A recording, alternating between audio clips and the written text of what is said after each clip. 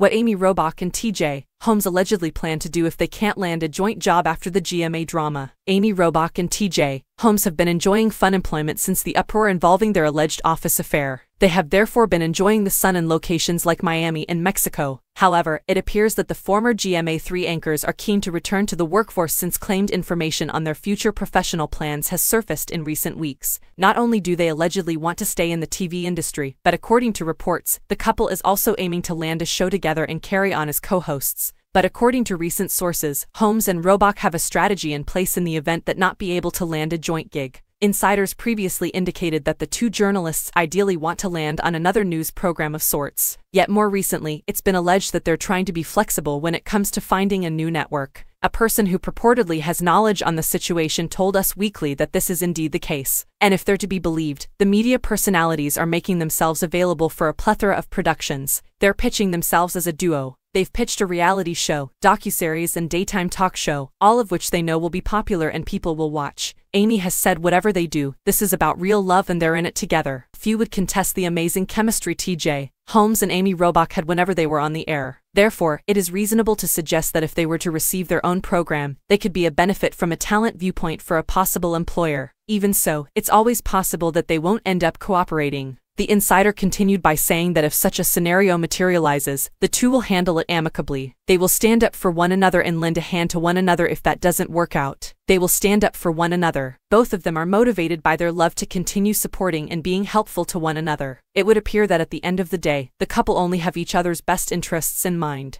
You can imagine that like any person, they want a work situation that best suits their needs and qualifications. However, as many people will tell you, sometimes you gotta do what you gotta do. Of course, there's still a question regarding if the stars might actually land somewhere. While reports point to them having had general meetings, nothing seems close to being finalized. At this point, insiders also claim that CNN and CBS are among the networks that have passed on Amy Robach and TJ.